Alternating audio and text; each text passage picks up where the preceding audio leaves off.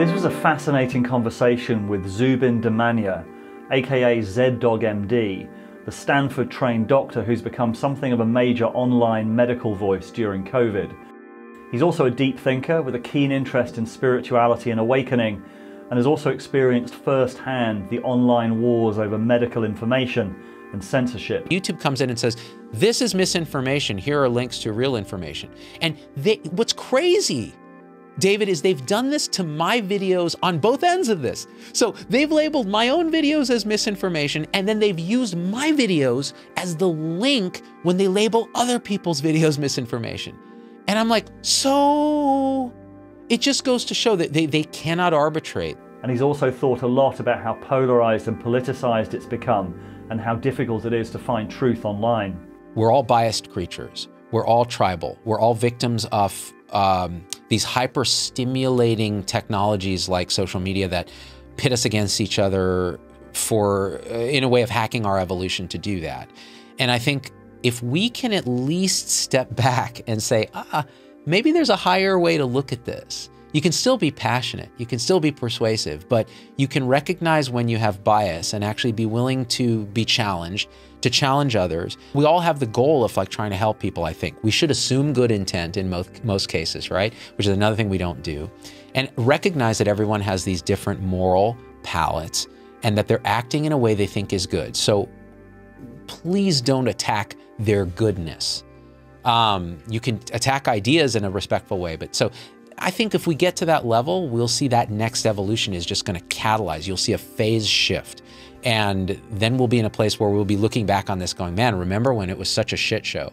So, Zubin Damania, welcome. Great to be here. Awesome. So, I'm really looking forward to this conversation. We've already caught up a little bit offline.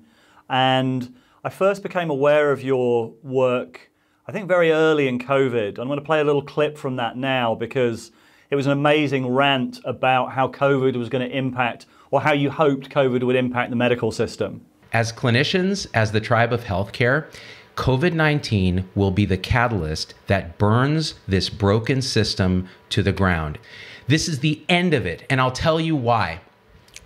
We on the front lines of healthcare will hold every single leader accountable when this is over. And why do I say when this is over? Because now we're doing what we do to save lives with no support, no protection. And when we speak out, what happens? You're fired. And what I really loved about that is we've talked a lot here about game B, game B being a kind of placeholder for what's next. And game A is like the game theoretic dynamics that are the problem with the current system. And I thought in that piece you perfectly articulated what I'd call like the game A dynamics within healthcare and then sketched out, and I know you've talked about healthcare 3.0 as being a potential new system for healthcare, which is how does corporate capture affect healthcare? How does the hollowing out of an innate human sacred calling and the monetization or the kind of manipulation of that, what does that do to healthcare? And you really articulated that beautifully.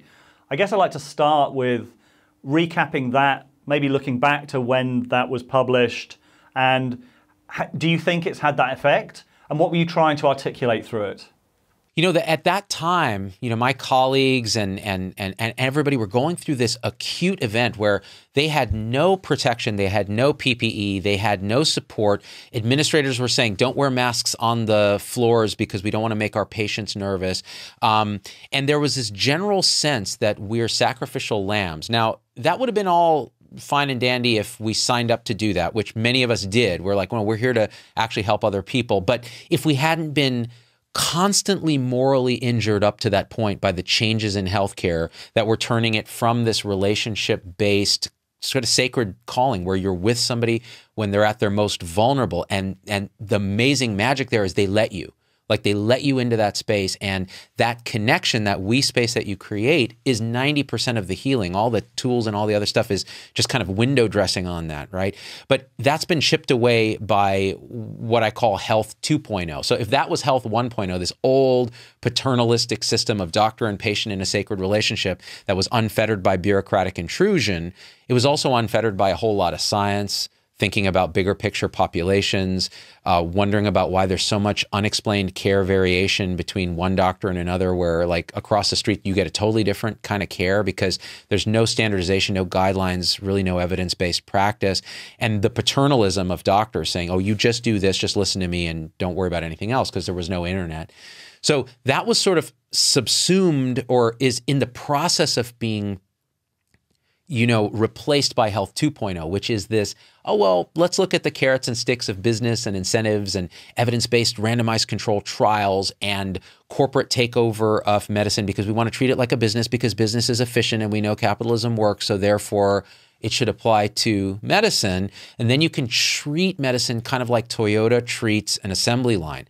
Optimize each process of it, use this thing called lean, where you optimize every part of the assembly line and look at your inputs and your outputs and so on.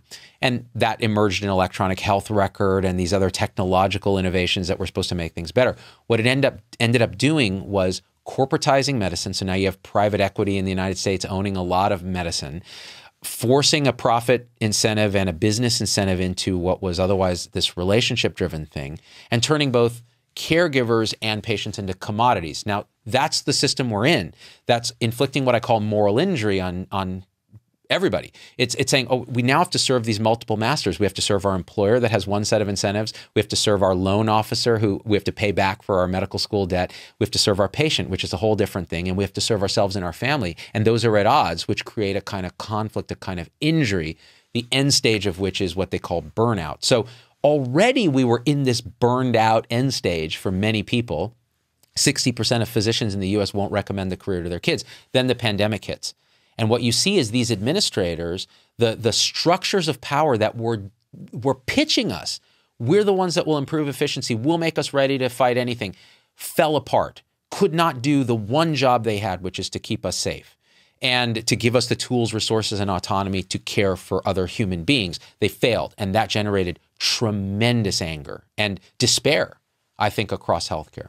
And do you think that that has um, because in, in, in the piece that you that you recorded, you were kind of saying, "This is the end. This is going to be the kind of straw that breaks the camel's back." Is that the case? Do you think now looking back? You know, I I'll tell you this. I sure hope that was the case, and I felt it in the moment that this is the end because we will never tolerate this.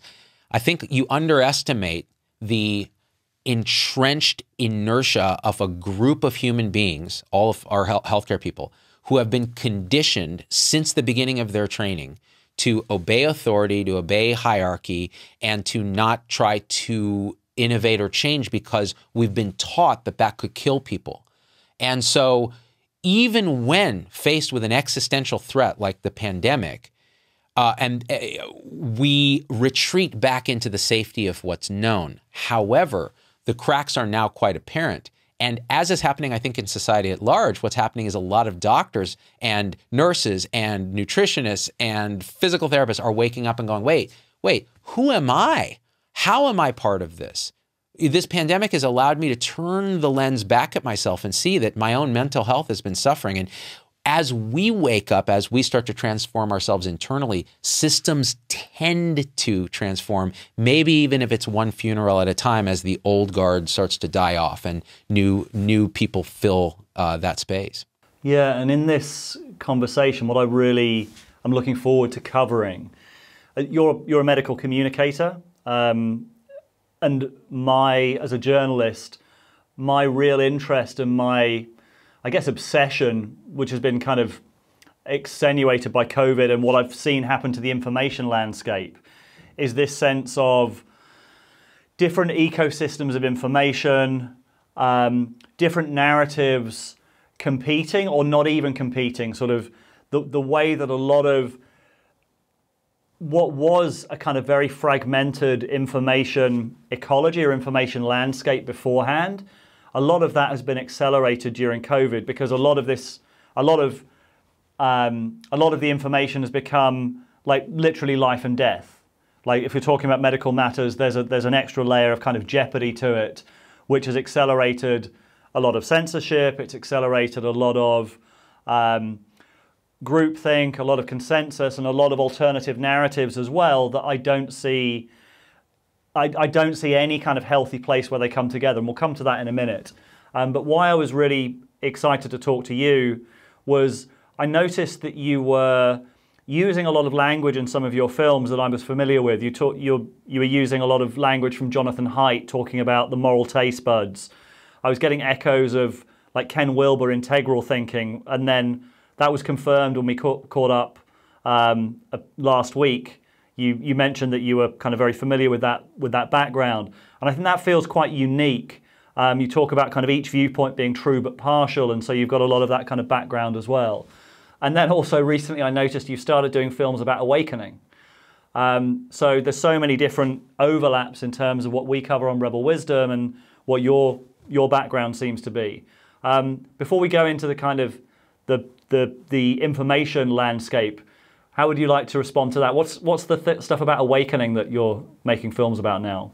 it's really interesting because I think a lot of what I'm doing now kind of recapitulates evolutionary stages as described by people like Ken Wilber. You know, when I was young, I was very, I had magical thinking. You know, I'm a Zoroastrian, which is this ancient religion, and you go through the equivalent of a bar mitzvah. They're, you know, they're from Persia originally and then India more lately. And, you know, I, I really thought there was a mythic magic god that controlled everything. And if I prayed to it, things would happen magically for me, the separate me. And then, became very science minded in in my teenage years became an atheist went to you know UC Berkeley UCSF for medical school Stanford for my internal medicine residency training and was indoctrinated and conditioned in the scientific worldview to the point where it's a kind of religion it's scientism and there wasn't a lot of dissent because in those days, too, this is the 90s, the internet was brand new. The tribalization, the splinterization of truth wasn't really there. So the truth was one monolithic thing, which is you give this drug, it binds to this receptor, people get better or worse. The side effects are something that are just due to complexity. And we don't understand mind body connection because there's no mind apart from the body. The body emerges a mind. And so as my own journey unfolded and I started waking up and meditating and having my own crisis of confidence in scientism, I realized you can actually transcend and include science, but there's something bigger than that. And that was this idea of who are we? What, what is our fundamental identity? And when you start to look at that and you realize this, this idea that there's this little self behind my head who is a moral agent, an actor of, of my own destiny, boy, it's hard to find that when you look for it in the present moment. And when that happens, you start to realize, oh, this idea that there are there are true but partial viewpoints almost everywhere. And how we parse them is through our own conditioning, our own moral matrix, as Haidt describes. And could we actually see some beauty and truth in everything? So again, then your own politics evolve. You go from whatever you were before to seeing the other side as less evil and less enemy as more, oh, these are humans with a different moral matrix. And actually, I'm sympathetic to some of their moral matrix. And then emerging something that's really bigger than the sum of the parts. And so that was the kind of journey. So now talking about awakening for me is like a priority because I feel like if humans start to look, turn that lens of attention inwards, um, they start to transform their own understanding of what they are, which then transforms as an epiphenomenon our human systems. And I, I think that's why your earlier question of I mean, do you think this is going to change? Are, are, are, is that, is, are we going to get to game B? You talked about game A. It's like, well, yeah, because this is going to trigger more of this human transformation, which will then emerge game B, which we don't fully know what it looks like because it, it's beyond our conception at this stage of our evolution. But suddenly it will it will start to click. You know, in the way that Daniel Schmachtenberg, Schmachtenberger, is it? I think he was on your show. He talked about it this caterpillar going to chrysalis, going to butterfly. They look very different from each other, and it's almost a phase shift in what changes. And I think awakening is a necessary but not sufficient part of that phase shift. I'd like to go into the stuff that we've been talking about a little bit offline about the information ecology. And I'm going to go in um, hard, I guess, because I've been watching and kind of being very concerned about this kind of split, and, and in particular, the level of misplaced certainty and the level of passion and the level of um, just real, yeah, a, a real sense of how much intensity there is around a lot of these topics. I mean, we, we can talk about kind of concerns about the vaccines. We can talk about kind of the current situation with ivermectin. You can talk, talk about all of these different topics, which I'd love to explore with you. Um, but I but I started with um, with the the clip about the, where you were talking about kind of the, what the problems with the medical system because I want to start straight away by saying I saw some of the comments under some of your other videos where you're talked about as kind of a a big pharma shill or someone who's basically in the can for the status quo for the consensus. Um, and I wanted to kind of get your response to that because my take from seeing the video that you that you put out and my understanding about your concept of health 3.0 is that's kind of the opposite of your your basic orientation in terms of the, the medical industry. It's interesting because, you know, I had a lot of pharmaceutical influence when I was training at Stanford because Pfizer would sponsor our our uh, lunches every week where we got teaching on whatever subject. So the Pfizer rep was there teaching us, hey, have you tried Norvasc for hypertension? It's here's a study that shows it's 0.0000001% better than the generic uh, you know competing drug and so you guys should all give it and you know we were all buddies with the Pfizer rep and so that influence is absolutely real. If you get a free lunch from anybody, it it affects you. And my, my colleague Vinay Prasad has written about this extensively. So to say that I'm uninfluenced historically by pharmaceutical uh, uh, pressure is it would be a lie. However, once you recognize that influence and you realize, okay, so now what, right? Let's look at the pros and cons of pharma. I have good friends who work in the research end of pharma doing beautiful work, and I have colleagues who work in the marketing side, and it's gross, it's disgusting, direct to consumer advertising. And the profit motive of pharma is very disintermediated from doing good in the world, honestly. I have strong opinions about this. And so I also feel like we are quite reductionist. So when you're looking at, well, am I a pharma shill? Well, do I take money from pharma? The answer is, well, I did a talk for AbbVie back in the day for their uh, group and I've said, okay, here's what Health 3.0 is. That was the talk I did. And so, yeah, I took that money and I did it for another uh, pharma group as well, teaching them about what I call Health 3.0. But other than that, I don't take a dime from them. When I talk about vaccines, I'm talking about it from, first of all, clinical experience and then looking at the science, but they don't pay me to do this. So, this idea of being a shill means you're promoting their party line for money. You're selling something because you're getting some benefit from it.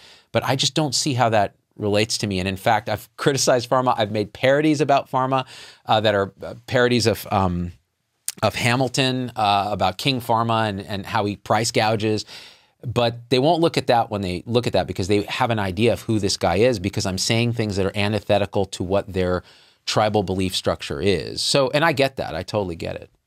And what do you see as the dangers of kind of big pharma in, currently in in terms of kind of the landscape we're seeing around COVID, the vaccines, and and yeah, the, the, I mean they've they've got increased power. I know this is something that um, a, a, friend of mine talked about. Is that pharma were not really at the big table for quite a while because a lot of their drugs were becoming a lot less.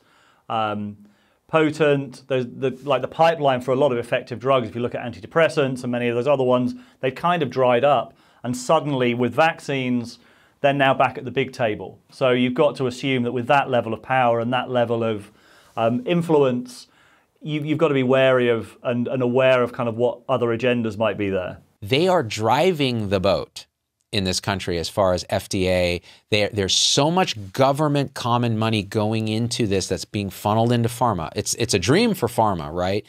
And so if you don't question that, if you just roll over and go, well, then everything will be good. I'm just going to, you know, they're talking about giving kids the vaccine now. It sounds good. It sounds like FDA's on board, emergency use authorization. Let's just go with that. You better question that when you're giving a, a vaccine to a low risk population, right? And, and see, I can get censored by YouTube just for saying that. So we have to talk about that at some point. But the bottom line is you better question what's going on. And we do. And I have guests on my show who question everything including their own belief structure. And so if you watch my own evolution throughout the pandemic, you see my beliefs on many things are questioned and changed. There's skepticism about the vaccine before it came out. Like, this can't happen. There's no way. Here's all the things that could go wrong. Then you show me the data, and I go, well, the things that I thought would go wrong didn't. I have these other questions. Oh, those were answered. Okay, good. Well, I got the vaccine. My family got the vaccine. We're doing okay. I'm looking at the data. There are these case reports. Okay, what's that? Let's look at that. And so that's that's how you have to question these things. You have to be empirical. You have to keep looking, keep updating your prior assumptions based on new data. But we're very reluctant to do that because if it triggers something that opposes our own underlying belief, our unconscious belief, what Haidt calls the elephant, this unconscious part of our mind, what you know, what Daniel Kahneman calls system one, this you know instinctive piece. You're going to have a hell of a time uh, overcoming that bias, and you're going to try to cherry pick information online to support the bias. And that's what I see happening everywhere. And it, it, occurs to me too, but then I try to catch it. I'm not always successful, but I do my best. And I try to teach how we might be able to do that, which is part of our kind of structured philosophy. Yeah, and I mean, you touched on it already the, the way that the big tech platforms are starting to police this conversation and police this debate, which is, which just seems insane on the face of it that talking about ivermectin, for example, would get you banned, or uh, talking about the lab leak theory would, would have got you banned up until like a few weeks ago. Um, what do you make of that, kind of the way that the big tech platforms are trying to, to regulate the discussion? If you, if you want a surefire formula on how to further tribalize, create a victim mentality in the people pushing this information, uh, this is the way to do it. Take a big tech platform that has a practical monopoly upon which many of the creators who are pushing this stuff are financially dependent. So, you know, I generate revenue through ads on Facebook, YouTube, etc., through subscriptions for people who subscribe to my show to get, you know, this kind of more one-on-one discussions with me. I'm dependent on these platforms for revenue, right? That's my bias. So it's kind of like, well, if they can if they decide to demonetize a video, that's equivalent to taking it down because it also doesn't serve as much. It doesn't reach as many people because of their algorithms. Demonetized videos just don't get out there as much. So it's effectively like a shadow ban at that point. So when you do that to people online, let's talk about the ivermectin guys, right? It's a crew of people. They are suddenly labeled as misinformation, which by the way, who's arbitrating that? Like, it, it, so where is the single source of knowledge, right? Well, well, okay, it's CDC, but well, but CDC changes its opinions. There's no reason that you can't go out and say, "Hey, I think ivermectin's a miracle drug, and here's the data," and then other people can come and say, "Hey, never use that term miracle drug because it literally means you're insane." Like it's an opinion, and your data is garbage data. So, but why? Well, then sit down and let's talk about it in good faith. Like, there's no reason you can't do that. Instead, YouTube comes in and says, "This is misinformation. Here are links to real information." And they, what's crazy, David, is they've done this to my videos on both ends of this. So they've labeled my own videos as misinformation, and then they've used my videos as the link when they label other people's videos misinformation. And I'm like, so it just goes to show that they, they cannot arbitrate.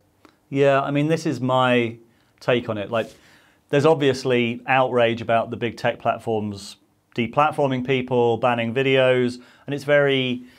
I think everyone agrees that that shouldn't be their role. But for me, that whole conversation is a symptom of a wider disconnect in the information ecology, which is that I don't see anywhere where, because by definition, the truth starts as heterodox. It starts as challenging consensus, it starts as challenging the status quo and the big tech platforms can't tell the difference between something that's heterodox and something that's kind of misinformation or reprehensible or whatever. So the way that that should be resolved is by those is having the conversation, is by having the debate. Um, but what I see happening at the moment is that the alternative only exists on alternative platforms. The mainstream is basically still trying to play this old old game of that person's beyond the pale, that person's a crank, we're not going to platform them because that would give a kind of false equivalence. Therefore, those, those ideas are not being challenged and they generally only turn up on alternative podcasts or alternative platforms where there is no incentive to challenge them. So you've got this kind of very broken information ecology where it's what I've called the uncanny valley between the two two narratives, and I that's what terrifies me at the moment about um, yeah about this uncanny valley opening up, and I don't I don't really see an easy solution to it. The, the, the, I think your assessment of that is spot on, and and it's interesting because you can see it play out it, I used to be, and I've had to evolve my own belief structure on false equivalence. False equivalence meaning you give somebody a platform that's a crank, and you elevate them to the status of a you know scientist or whatever. And it used to be if there was no alternative platforms, then that may be true, right? But now it's like anybody with any thing behind their name can go out and make a video and claim to be an expert, may even have some mild expertise in something, and have the equivalence to somebody who studies it all their lives. And and then when you watch the response to it, it is completely secularized off and tribalized and siloized. So a good example is, you know, early in the pandemic, there was this, um, uh, and, and it continues actually, this kind of idea that Fauci actually created the virus in order to make money. It was a Plandemic. That was the term. And Judy Mikovits and you know these guys were hailed as these hero scientists who were blowing the whistle. Well, when you actually look at who she is, you know she.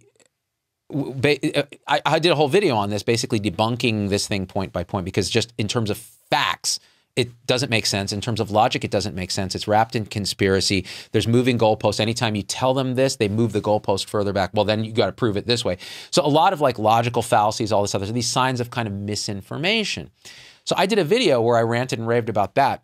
and um, if you look at the comments for the video, they are, it's almost like you're living in two different worlds. So I happen to know the general community and the scientific community. They look at the Plandemic thing and they're like, oh, this is just insanity. You wouldn't even talk about it you look at the comments on my video, it's like this bald pharma shill is wrong and Judy Mikovits is a hero, or who's he paid by? You know, like just you would think is just crazy. But in reality, it's the information ecology splintered into tribal factions that have no interest in actual truth. They have interest in the tribal badge of belief that they are going to defend to the death because that gives them the inclusion in this group.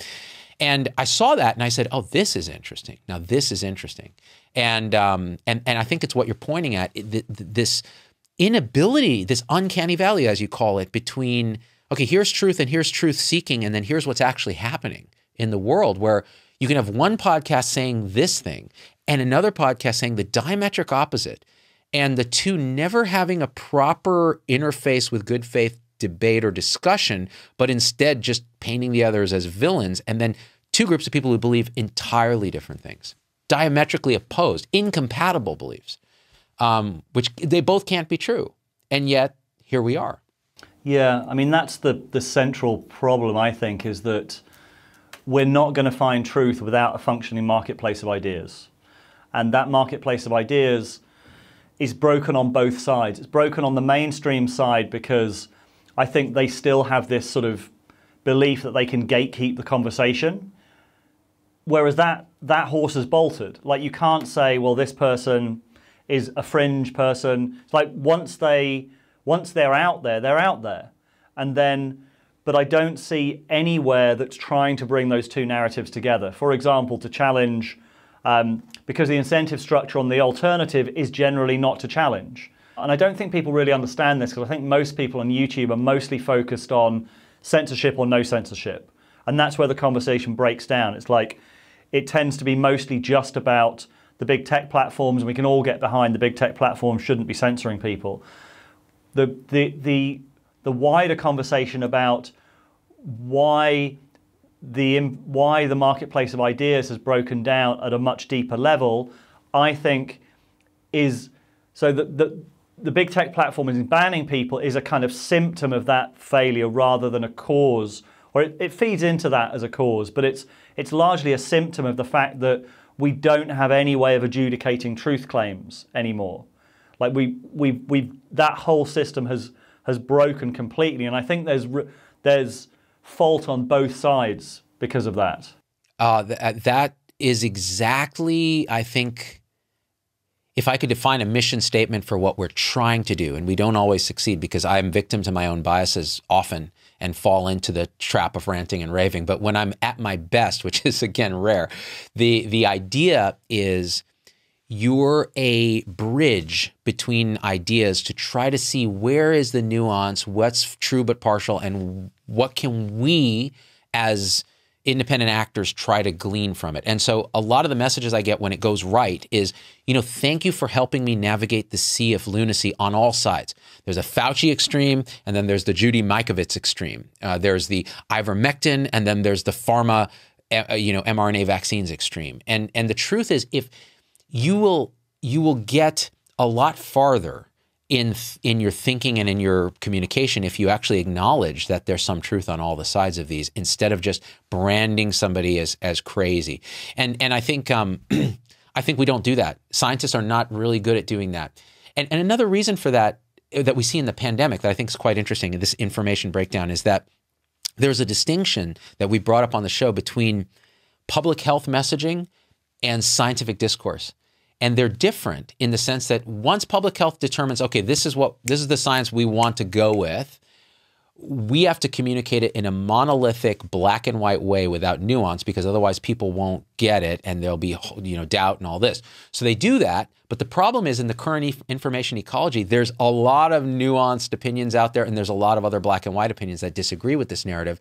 And so it butts up against that. And then you have youtube saying we're going with public health. We're going to silence these new other uh, you know heterodox opinions or misinformation. We can't tell the difference right as you say. And then what that does is it creates distrust of the public health apparatus which is a natural human response. But scientific discourse is to throw feces at each other, to challenge each other, to to really get in it and go, you know what? Now, like the ivermectin guys, hey, look at all this data, and then the other guys going, wow, but the data's low quality, and you're confusing correlation with causation. No, we're not. Look at this data. Well, but that data has this flaw. Oh, but well, then look at this meta-analysis of the data. Well, you're just combining a bunch of different trials that have flaws. But that's not true because you're biased because of your financial incentive. That's the conversation you should have.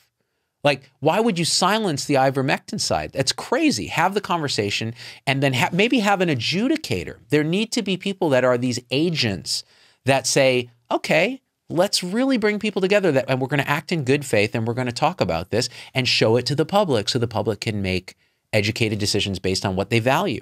I want to challenge you a little bit because I did see a video of yours where you pretty much kind of drew the line at anti vax talk and yeah. said, because because I, I, having talked to you and seen a lot of your stuff, like I think you do walk the walk on um, trying to persuade. But I've also saw seen this film, and it's been referenced to me by by others, saying that it, it just felt very closed minded. It felt like you were kind of like, okay, I'm not gonna I'm not gonna even talk to anti vaxxers anymore. Yeah. I'm so glad you brought that up because I look at that. That was a couple, three years ago or something, um, before the pandemic maybe even maybe even before that because it was before the pandemic. It was the one where as it said I I no longer will tolerate anti-vaxxers. It's just me talking at the camera, right? Uh, something like that. Yeah, yeah. And you correct me if I'm wrong. If I did it during the pandemic, uh, correct me. That was an so that was a great example of where bias and closed-mindedness and a failure to recognize to a failure to be that adjudicator it, just manifested in me. And that's where all my conditioning, and, I'll tell you why, it came from an emotional place. So this was pre-pandemic, and I was seeing people saying, "Okay, these vaccines are are you, you can't give them to kids, and it's going to." And then I see the kids getting measles and getting pertussis and having these things happen. And it was right after I had a vaccine expert on my show, and some anti-vax activists actually came to the studio and started banging on the on the glass shouting obscenities at us while we were broadcasting.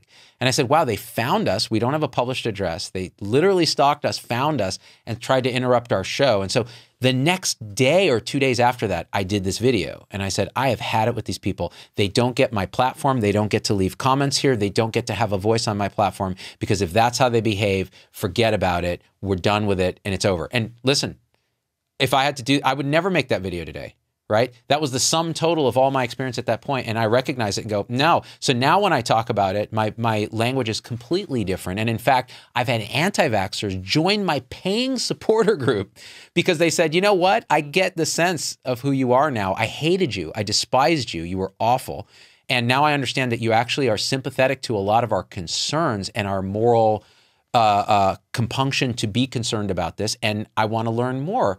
And you never say you have to do this and so on. And so I've had to evolve myself and recognize my own bias, which again, if you can't do that, then you, you there's no you have no chance of being the adjudicator. Yeah, and what do you make of the lab leak thing? How has your perspective changed on that?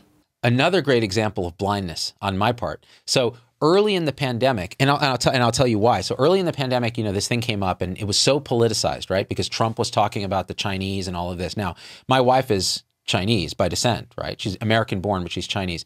And you're reading about all these, you know, people coming up and punching an Asian person in the face. And now they're saying, well, okay, what was natural in SARS CoV 1, this natural jump from animals to humans that resulted in a in an outbreak, uh, didn't happen this time. This time it was engineered by the Chinese as a bioweapon and so on and so forth, and it was covered up by Fauci and so on. And I said, well, okay, this already reeks of misinformation. It reeks of a political tribal bent. And I'm listening to the authorities that I talk to even offline, and they're saying there's really no evidence in the genome or the sequence that says that this is the case. It looks like it naturally emerged. It has those hallmarks. And I said, okay, well, you're you you have an expertise in this space that I don't. I don't look at the primary data on this, so I believe it. And so when people would ask me about lab leak, I'm like, guys, it's really not the thing. And can we move on? And in fact, what's the difference between like you know it, it's a wet market and, and, you're torturing animals and you're eating them when when you know and that's causing it versus a bioengineered it's still a man-made crisis right? It's still something we we ought to work on. Well that was a blindness on my part because now more information comes out and it turns out that oh this is a very likely i mean it's as likely as anything if not more likely and more information comes out. And I publicly said, "Well, shucks, I shouldn't have been so close-minded to it. Here were my here were my biases, and I'm going to tell you right now, I'm changing my mind. I think we should explore this aggressively because it just has ramifications, just like the wet market did, for how to prevent future pandemics, and also holding some degree of accountability. And I don't think it's any more racist than saying, "Hey, stop eating civet cats." You know, so I, I think that that it's a it, it's and it's see like when you point these things out in me, it, even two years ago it would have triggered a flush of emotion where I would have been like, okay, how do I defend myself against this accusation, right? And now it's almost like I get excited, like, oh, I, I was a complete asshole about this. Like I was wrong about this. This is exciting. Let's talk about why that might have been. So it's a it's a reframing of and, and that comes from a lot of work. That's not something that happens overnight. That's something that you pound on yourself with introspection and meditation and reading and trying to understand your own mind, which is very hard. And I'm not even good at it yet it's still a work in progress. I think there's a big difference between this sense of, like, I think a lot of people have concerns about the vaccines, for example. I think a lot of people have um, doubts, especially in the aftermath of the lab leak and kind of realizing, wow, this the the consensus was so wrong around that, or at least was artificially created, even though we don't know kind of where it actually came from at the moment, or we don't know for sure. Um, there's a big difference between having doubts and being certain, and it's the certainty that is the most off-putting thing I think about so much of the na- of the narrative. The amount that people are ready to go to war over narratives that they they cannot be certain about. That's the thing that's terrifying, I think. It's remarkable, actually, the certainty. That, that that's exactly. I think you nailed it in that it that level of certainty is always now a red flag for me. Like, I'm certain this vaccine is safe and effective for children. Really? How can you be certain? How can you know that? And in fact, there's a lot of evidence that says you shouldn't trust anything implicitly. You should continue to look at data and continue to question and have a nuanced answer to that, including what the authorities say. The problem is, again, that distinction between public health messaging and science. And then it starts to trickle into our discourse. So you look at comment sections and it's like, absolutely, ivermectin is like, you know, I've heard people say ivermectin will drive COVID to extinction from an evolutionary uh, process. And we've done math on this and it's, abs- I'm certain that it'll do this. Well, oh, okay, really? Like, let's really get into that. And, and, and that, that I think that's a problem I have with both sides of this. Oh, you know, everyone should get vaccinated. Well, Are, are you sure about that? Because there are lots of people who are low risk. We don't need them to be vaccinated to drive COVID into an endemic, low level infection that doesn't bother us. Why would you take away their right to autonomy and their moral palate, which values, values liberty versus oppression, as opposed to, you know, say care versus harm, or another one of these uh, moral moral matrices? Um, or fairness versus cheating, where like people feel like people who don't get the vaccine are somehow cheating and riding on the community immunity from people who've been vaccinated. I, you know, that's all morality. It's not necessarily something that you can scientifically nail down without a lot of work that hasn't been done. So let's allow for that uncertainty. Let's, to a degree, elevate it and put it in our discourse. Now, the question is, I, and I would wonder this do people trust people who speak in nuance, or do they trust people more who speak in certainties? And I don't know if there's data on this, but I would wonder the answer to that question. Yeah, and there's also a paradox involved in even what you're doing now, like the kind of the broadcast modality of what you're doing looks like certainty. And certainty, I, I don't know whether, I think there's a difference. It's like, what, what do people trust more long term? I would hope it's, they would trust people who are measured. It was tr- they would trust people who they felt were trying to give them all sides of the story, who were bringing nuance, but certainly what cuts through is certainty, is this sort of sense of this is what I think and I'm going to tell it to you right now. And you've got a very uh, persuasive manner, you've got a very kind of um, charismatic manner that I think it feels like you're you're delivering truth. Like there is a kind of like I, I hear what you're saying about that you're you're trying to um, make sure that you're not you are delivering that nuance. But there's a weird paradox between the, the modality of what you're doing, the idiom of what you're doing, and the nature of, because when you make a statement, it feels like you're stating truth. And it's like, do you, do you see what I mean? There's a, and if probably so, someone only sees one of your videos, it's like, oh, I really like that guy's attitude, but he just he just laid it down like it is. They won't see the they won't see the kind of nuance over time of you reassessing your perspectives. So they're like I feel that quite strongly. Like there is a an implicit tension between the broadcast modality and the nature of kind of collaborative or nuanced truth seeking. I think you bring up a very specific and good point as to this medium, which I think is very valid.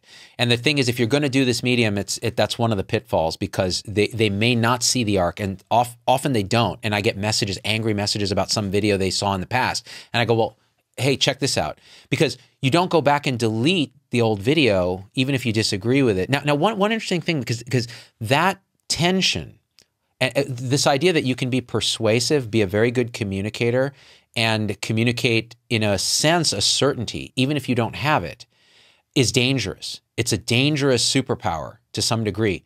You see it with some of the ivermectin guys. They're very good communicators and they're very certain. You can see it with me. You can see it with others online that are very, very good. And something that happens with me that I think is interesting from an introspective standpoint is sometimes I'll do a show and I'll convey it in a passionate way.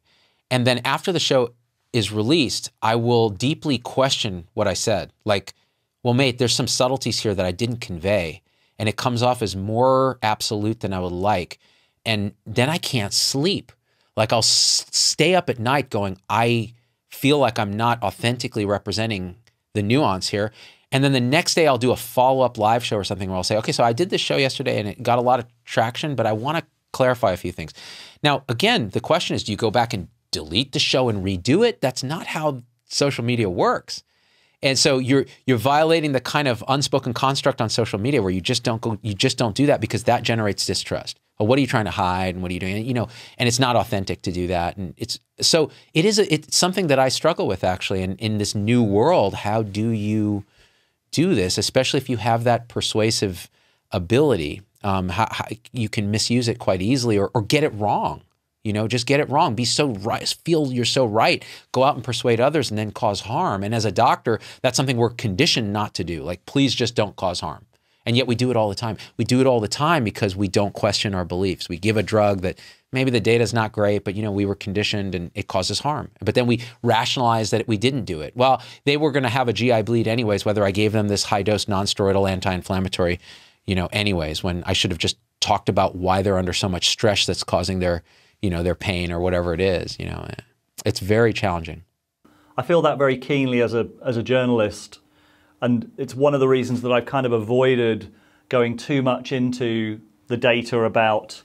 Um, I mean, there's so many hot topics at the moment. There's so many hot topics. Ivermectin being one of them, the vaccines being another, and I felt very uneasy about going into that because I don't have the I don't have the background. I don't have the ability to kind of do a challenging interview with with people. I kind of been thinking, okay, how do you do that? You maybe host a, a dialogue between people on different sides, and that's still an ongoing an ongoing question, an ongoing thing for me.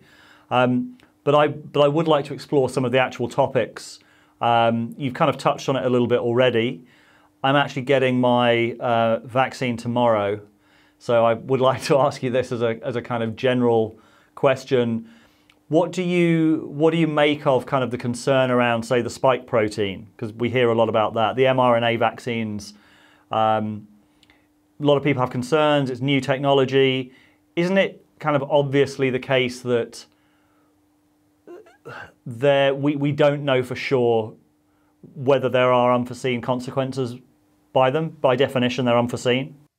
Yeah, of course. And if you don't if you don't admit that about a vaccine, then you're being really disingenuous. You know, uh, the truth is anything. I mean, there's so much uncertainty in any medical therapeutic. there's uncertainty in doing nothing. So the uncertainty in doing nothing is, well, I could get COVID. I could be one of those rare long COVID people. I could also be someone who dies. I could be someone who's fine. I could be someone who transmits it to an elder who dies. So there's the uncertainty there. I don't know what could happen. Now, the uncertainty with the vaccine actually, I think, is narrower. So we kind of have seen enough people be vaccinated now, hundreds of millions. Say with the let's just stick with the mRNA vaccine for now, uh, the the Moderna and the Pfizer versions of this we've seen enough people be vaccinated to say, okay, here are what we're seeing. There, oh, well, then people say, well, there's maybe some safety signal that isn't being pointed out. Okay, if that's true, it's probably a smaller percentage of people than you would think, because otherwise, believe me, doctors around the country would be reporting it. It'd be in all kinds of databases. But when you look at what we do catch, for example, the blood clotting, rare blood clotting syndrome with the Johnson and Johnson AstraZeneca vaccine, and the myocarditis, which I think is real in the mRNA vaccines, they are caught by these uh, systems of surveillance. It's not like, you know, there's no incentive for pharma to want this information to come out, yet here it is. And so this idea that there's a conspiracy to hide this stuff, I think, is, un- is, is, is uncompelling. It, may be true, but it's uncompelling. So now you're left with a situation where people talk about spike protein. Now, by, when I say people, it's usually a few folks, often who, if you go to a, um, a scientific conference, there's always, you know, Uncle Bob in the back who is a scientist who's in the field who proposes something that's really radically heterodox and says, you know what? You guys didn't think about this, but the spike protein itself that you're telling your cells to make with the vaccine is toxic. It is the reason why coronavirus causes disease. So, why would you want people to produce it, especially if it doesn't stay in the arm and it actually circulates to the body and accumulates in organs, which these biodistribution studies show. Well, you look at the studies and you go, no, they didn't actually show that. And actually, they were looking at that early on. And you don't, the average Joe doesn't have access to all this data, but the experts do. And when you talk to the experts, they say, yeah, no, we, of course we looked at that. like that's what you have to do that when you're making vaccines. It's not like some big conspiracy to hide this. But could it be that in certain people, the spike protein generates some difficulty, including the variant of the spike that's very pure, that's made by the vaccine, which is different than wild spike type, spike protein. So these are different things. So the bottom line is if what they're saying is true, you would expect in the population to see lots of chaos, lots of havoc. What we're seeing instead are cases plummeting where vaccines happen we're seeing not a large safety signal. We're seeing these small safety signals, myocarditis and blood clotting in the other vaccines. And so that in itself is pretty compelling evidence to me as a physician that that's probably not true. Does that mean you shut down discussion about it? You don't look at it? You don't talk about it? No. Let's have a conversation about it. You know, it's absolutely the case. Uh, you know, when Vanden Bossche, this guy was talking about, you know, the, the, the problems with vaccine in his opinion as a virologist, a vaccinologist, it's like, okay, no, don't shut him down. Let's talk about it. And I did. I did a video and I said, well, this is why I think he's full of crap, but let's have him let's have him talk. And he can't debate me because I'm a communicator. I'm not a virologist. So I talk to the virologist and I communicate all the sides of these things. you got to get an actual hardcore virologist to debate him. But the problem is, again, then you get into that false equivalency of, well, the virologists are busy doing their virology. Are they going to have to do this with every single sort of fringe idea that comes out? And because that's going to be exhausting for the virologist too. So it becomes very difficult. Um, but it's not impossible. It's not impossible to do. Do you think you would be able to host someone again? Like Vanden Bossche, for example, has obviously got a lot of profile. He's been uh, on a lot of kind of very high profile shows, and he's he's a perfect example for me of where the information ecology is broken because I think if you talk to most virologists, they would say he's such a fringe character. I'm not even going to bother kind of talking about. It. It's like it's too late. That genie is the genie is out of the bottle. So therefore, I think that whole that whole idea of we can gatekeep people like that out of the conversation is is is wrong once it gets to a certain level. Yeah, you're right, and and and, the, and you can't you can't gatekeep him, and you shouldn't. But the thing is, then how do we how do we deal with this? Because when someone like that says something, and I'll t- let, us talk about Vanden Bossche for a second, if that's okay, because I think his his strategy is interesting. His case is interesting. Seems like a very smart guy. Seems very well intentioned from what I can feel through the videos. Um, he speaks in a kind of language that when I listen to it, it immediately triggers a response that says, "Oh, this guy is wrong." And the reason he, he triggers that is he speaks in certainties. He uses the word science about a trillion times, which is a, a appeal to authority. It's like, well, no, I'm a, as a scientist, as a scientist, the science says this is how, and the actual the sort of logical fallacies in what he's saying become apparent to me. So as somebody who would spend my time, let's say I was a virologist, I'd be like, why would I, why am I wasting my time? This is just madness. Like, this is not it. But when when the public hears this, or someone who's sympathetic to the underlying belief that these vaccines are tools of genetic engineering that are going to make the pandemic worse, um, it, it's it resonates right here, and it has enough science sounding stuff to feel correct. So now this whole public health thing of like don't deviate from the message. Well, well, now if you care about public health and you think the vaccines are helpful, you better address that. Not by banning it or putting a link saying here's some better information. Who's going to click on that? You you got to have somebody sit down and go, okay, this guy got 10 million views saying this. That means there's a good there's probably 30 million people that believe this. So what are we going to do about it? Well, let's get him on a show with a virologist and an adjudicator who speaks in nuance and actually sees everything as a little true but partial. A moderator rather than adjudicator, because it's yeah, not... I don't know. Yeah, the word the word adjudicator is, a, is wrong. Uh, I made that up out of my you know emptiness just now. It really is a moderator or someone who's really. There's no word for this yet, actually because they are also a thinker. They're not they're not a completely impartial. So they would challenge in very specific ways and put their biases out on the table and that sort of thing. Um, but yeah, so that being said, you you you kind of need that in order to uh, address that in a way that, like you said earlier, because in a pandemic there's life and death now. Like if it were just like a topic of like, well, let's talk about biodiesel versus you know hydrogen. Well, okay, that's not going to kill us right now. Let's but with this it's like well now people will message me and say well i saw this thing and i was scheduled for the vaccine tomorrow. Now i'm not getting it. And i get these messages all the time can you please tell me why he's wrong? And i'm like that's out of the scope of an email. So what i tell them is something and this this gets back to your persuasion piece and the dangers of it but also i think an opportunity as physicians we have so it's this listen i tell them this is very nuanced and complicated i've done videos on it but here's the bottom line I disagree with him for a variety of reasons. It doesn't mean the questions he's asking are wrong. They're good questions to ask, and you should be skeptical. This is what I've done for my family. And I know quite a bit about this stuff, but and I could be wrong, but this is what I've done for my family. And so that's how I think about it. And in a minute, I'd like to just talk about ivermectin because that's the sort of topic du jour. Um, but before then, I was thinking about how everything's very contextual. Like there's so many there's so many reasons and so many truth claims have to be assessed on the level of context. It's often to do with how much certainty is coming from the person making that claim, whether you feel that whether it's kind of a there's a somatic experience, there's an empathetic experience as to whether you trust someone. Um, but there's also a, a context to, for example, the vaccine claims. So a lot of the concern about the vaccines relies on a sense that if there were problems, they would be suppressed on a big level. Like for me, that's disproved by what we saw very early in the pandemic in, in Europe, in particular around the AstraZeneca, AstraZeneca vaccine. They were, various countries banned the AstraZeneca vaccine quite early on because of blood clots. And there were, there were serious um, investigations into it. I remember at first there was some suggestion that it might have been a political thing, and then people were then forced to, to, to admit, no, actually, the, these are real events, the blood clots are happening. So that for me shows that okay, there may be these vast cult. It's certainly true. There are these vast forces in terms of the, the power of pharma, in terms of the the government sort of wanting vaccination, and th- these are huge forces, and we've got to be aware and suspicious about could they override public health? Could they override reactions? But what we actually saw was no, the, the problems with the vaccines, when there were only like a few cases, they stopped using the AstraZeneca vaccine in various places. So for me, that, that, that is evidence against that suggestion.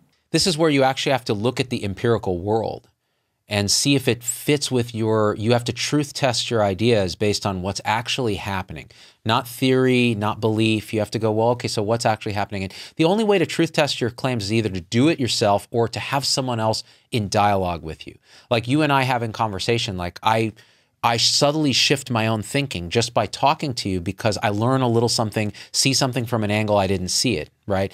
That that's important, but we've kind of stripped that out of the equation now because now it's these silos shouting at each other, villainizing each other, and tribalizing in a way that you cannot even accept nuance.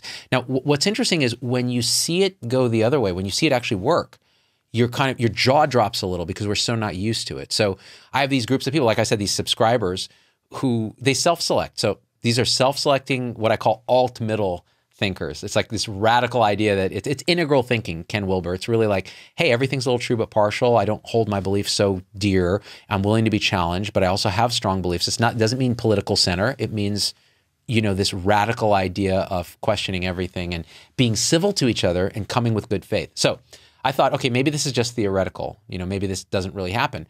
Well, these guys self-select for people who are like this. Then you see in a closed platform their discussions on social media. They'll share a link to something crazy and they'll have this radically open and respectful dialogue back and forth where someone comes away having learned something. It's remarkable. You don't see that on open water Facebook or YouTube comments. So I know it's possible. I know it can be done.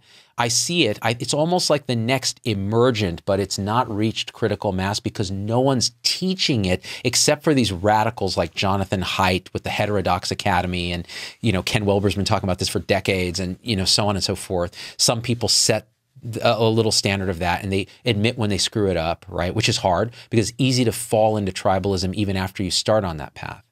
But I think it's there. I think it's there for us. We just need to really start to point the way and, and open to it and understand it. That reminds me of the concept of the dark forest theory of the internet, that most of the real stuff is now going on behind, like the open internet is too dangerous. The, they're mostly going on in these sort of private groups. And also reminds me, we had, a, we had a, an event on Monday in our community, and there was a, a real mix. We, we touched on vaccines and there were some people who were skeptical, there were some people who were pro, but it was a very good, good faith and good natured discussion. And people felt free to express themselves. And I think that's, that's got to be the first step, whatever, whatever comes next. That people aren't shamed and aren't humiliated and aren't judged for the views that they have. Uh, uh that's beautiful. I mean, I get goosebumps thinking about it because you know, you get Haidt talks about the sense of moral elevation you can get. It's this feeling of wow. It's almost like an awe that you get when you see something that really displays truth, beauty, goodness, whatever it is. And when I see my own audience interacting with each other in a way where you know they had disagreeing opinions, but they do it in this beautiful way where they challenge each other without being hateful and they're very inclusive, it, it's a sense of moral elevation because you get this intuitive sense that that is more true and less partial than what came before it, which is this tribalized fighting. And I, I, I like you said, this dark forest idea, now that is a double edged sword sometimes because you can create a tribe of people that are an echo chamber of tribalism just as quickly as you can create an alt middle tribe of thinkers that then try to go out in the world and yeah, probably quicker because because one of the reasons is we've we've um we've hacked human psychology with social media now, and we've given ourselves this dopamine burst by the tribalization of the likes and the dislikes and the the polarization and the outrage porn that we create. And it's so easy to actually manipulate that that that's just an easy like man, I tell you, I could go right now and get 10 million views on a video. I know exactly the things to say. I know exact, and it'll generate me revenue. And, and it's so easy because I know exactly how social media works now in that sense. And yet it would be morally reprehensible. I wouldn't be able to sleep and it would do no good in the world. And I would want to quit um, because it's antithetical to who I've become. Now, it might not have been antithetical to who I was even a few years earlier, trying to struggle and see how do I make a living you know, doing this? How do I make my way in the world? Egocentric, like I need to prove myself, so on. Um, so again, it's it's part of our own journey too to try to. It's a societal journey and it's a personal journey to try to transcend this thing. Yeah, and there's one other thing I wanted to cover from my perspective as a journalist. So I kind of reflect on how I make sense of the world, how I make sense of the information landscape. You're a you're a medical person who can look at the data I'm I don't have that I don't have that skill. So what I'm doing is generally weighing what seems reasonable very quickly. Like I'm I'm going to be wrong about a lot of stuff, but when I look at, for example, the anti-vaccine arguments and the anti-vaccine communities, and you look at there are various well before the pandemic, there were conferences where people like Judy Mikovits were speaking, and there's sort of these big figures within that within that ecosystem. Now, I I am a naturally kind of heterodox thinker. I believe that there are really bad consensus positions around so many things in the landscape right now. One of the topics that I've covered, probably the, the medical topic that I've covered the most, is the overprescription of psychiatric medication and the over medicalization of of distress of psychological distress and challenge that then leads people into being prescribed drugs and then they get into more drugs and they're in this kind of washing machine cycle. Like and that for me fits all of the characteristics of it's kind of a big pharma conspiracy.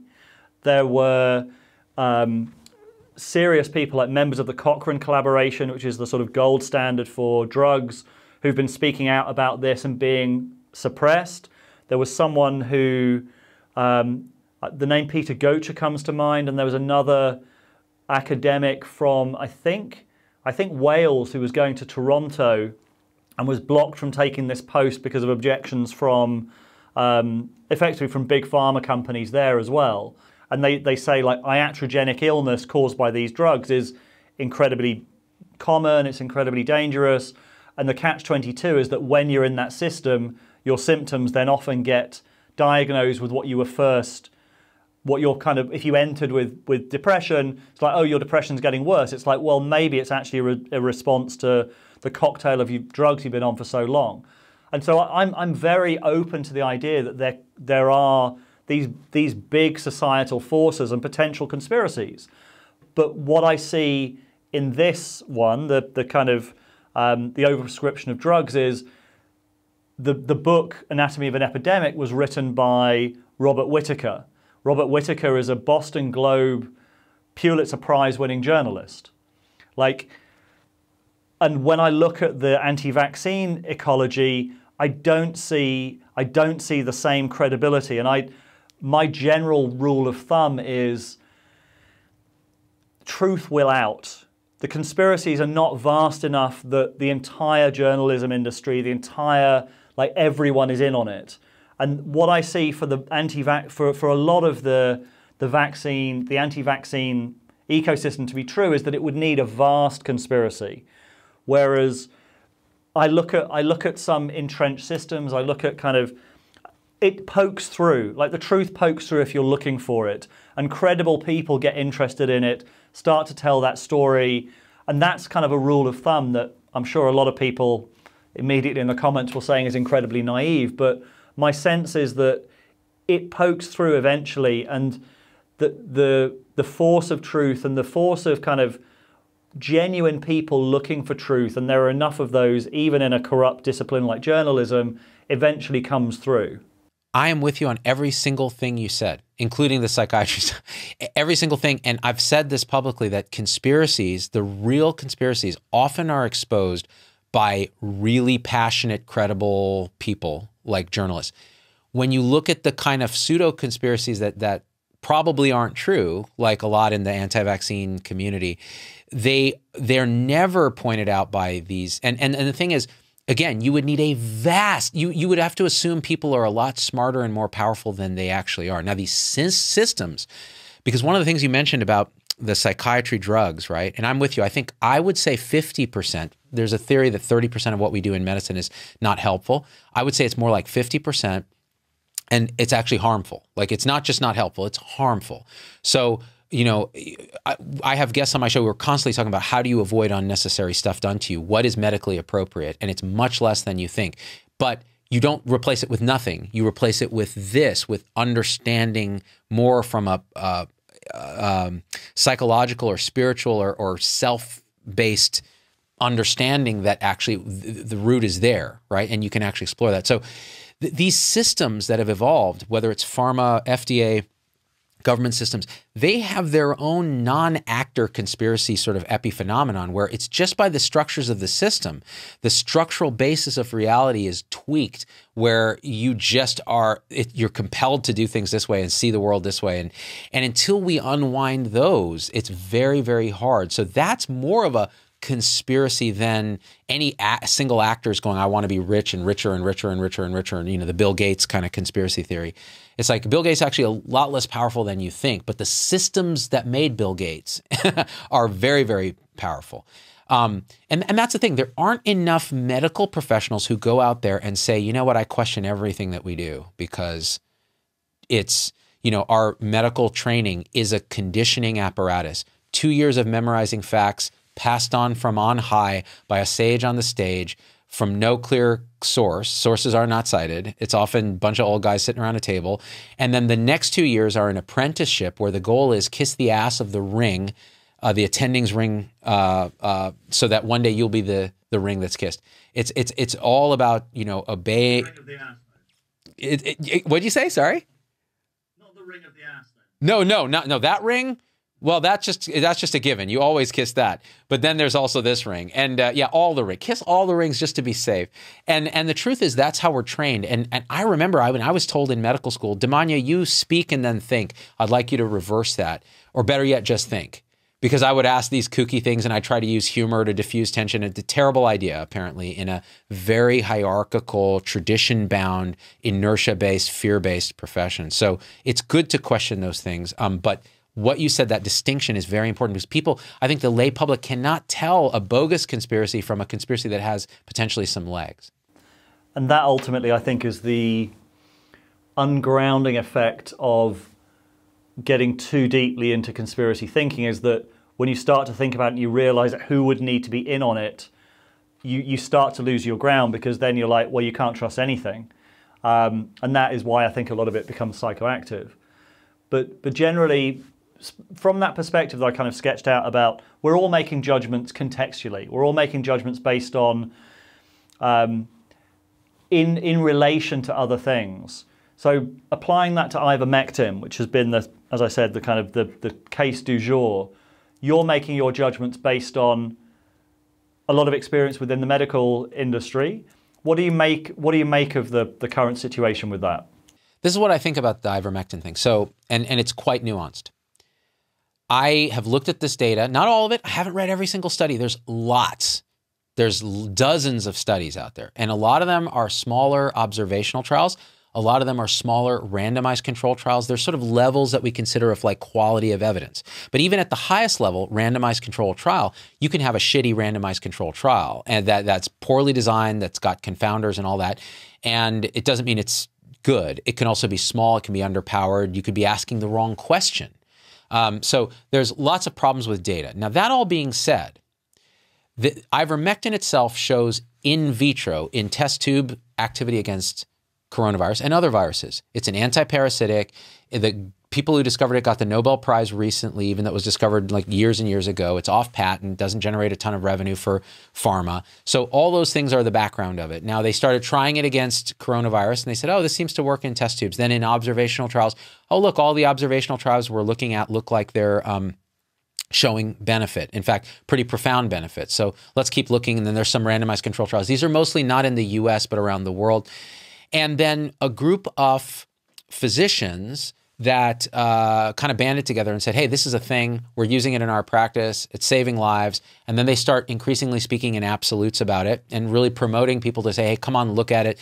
Pierre Kory is one of them. He goes in front of Congress and does, does this testimony and goes viral with this thing. And, and you know, even when I saw that, I was like, well, this guy speaks very, uh, like, like again, the language he's using is quite triggering for me as someone who's trying to be this impartial learner of truth. But I said, okay, this could well be that ivermectin works. Why are the authorities not talking about it? So you look around, you go, well, now they're not. Now they're not only not talking about it, they're saying that actively, no, there's really no good evidence that this works. The quality of the evidence is poor. Um, don't recommend it, so on and so forth. Infectious Disease Society of America, same thing. They look at the trials and they say, you know, not only is this evidence bad, it looks like there's a publication bias where you're only reporting positive trials because there's no negative trials. Then Pierre Kory will say, well, there's no negative trials because there's no negative results because it's so powerful. And so, how do you even begin to look at this? And this is how I think about it. It's entirely possible that ivermectin has some effect. It's entirely possible it maybe even has a strong effect. With the information we currently have, I can't I can't figure it out. And I do this a lot. I cannot answer the question. Is it safe? Mostly yes. Is it effective? Maybe. Do we need a good randomized control trial to answer this question? That would be nice. So we did that with dexamethasone, which is a cheap steroid. So we were able to do that, you know, because some of the arguments the ivermectin guys make is you don't do a randomized control trial during a pandemic. You just give stuff that's safe. Well, this is the problem with that. There are a million stories and cases and, and things that happen in medicine where we think something works based on anecdote, observation, et cetera. Then we do the trials and they don't work. And one of those examples is this vitamin C cocktail for sepsis. You know, a lot of, I, I had the guy on my show, we talked about it. Um, pros and cons. I said, well, so are the randomized controls trials coming? They are. Okay, they come out, they don't show a benefit. Well, then they move the needle and say, well, they didn't do it right. They didn't give it early enough. They didn't do this. And then you're like, well, okay, at some point, we need some arbitration of what's real here. And it doesn't seem like this is real. I suspect by intuition that that's what we'll see with ivermectin, but I could be wrong. And in fact, it's probably likely I'm wrong. Ivermectin probably has some effect. And so what do you have to do? You got to study it. You never silence the people who are talking about it. But you do you do point out where they're behaving interestingly, like these appeals to emotion, some of the logical fallacies, the moving of goalposts, the the looking at the evidence in a way that you're just like, is that how you interpret that evidence? Because I'm not sure this trial is very good. And let them argue with you. That's great. That's beautiful, but don't silence them. And I'll tell you, there's going to be a thousand comments on this video when you release it that say, "Oh, these guys, more pharma shills that won't that are silencing ivermectin." I have no incentive. I want it to work. What a great idea! You give it to everybody, prevent the disease, treat the disease. You don't even you can fill in the blanks where people aren't vaccinated or don't want to be vaccinated. Brilliant. I would love it to work. I'm not paid by big pharma or big ivermectin, but unfortunately, I just don't see it yet. Is there anything that we didn't cover that you'd like to cover before we wrap up? Now, I, I, I really think the, the main thing here, the takeaway for me is always hey, we're all biased creatures. We're all tribal. We're all victims of um, these hyper stimulating technologies like social media that pit us against each other for, uh, in a way of hacking our evolution to do that. And I think if we can at least step back and say, ah, maybe there's a higher way to look at this you can still be passionate, you can still be persuasive, but you can recognize when you have bias and actually be willing to be challenged, to challenge others. I think we do need that moderator type, that phenotype that comes out and says, hey, let's bring these guys together and let's talk about it with good faith. When we don't hate each other, why would we hate each other? We're all the same substance here let's and we all we all have the goal of like trying to help people i think we should assume good intent in most most cases right which is another thing we don't do and recognize that everyone has these different moral palates and that they're acting in a way they think is good so please don't attack their goodness um, you can attack ideas in a respectful way but so I think if we get to that level, we'll see that next evolution is just going to catalyze. You'll see a phase shift. And then we'll be in a place where we'll be looking back on this going, man, remember when it was such a shit show? And I hope that's really, I really think and hope that's going to happen. Zubin, it's been a pleasure. So thank you for making time. Really a joy. Our ability to make sense of the world is breaking down. We're making more and more consequential choices with worse and worse sense making to inform those choices, which is kind of running increasingly fast through the woods, increasingly blind. Over the last two years, Rebel Wisdom has interviewed some of the world's top thinkers. Now we've brought them together for an eight week online course, Sense Making 101, with Daniel Schmachtenberger, Diane Musho Hamilton, John Vervaeke, Doshin Roshi, and more. Improve your sense making, develop your sovereignty, and join a wider community looking to do the same.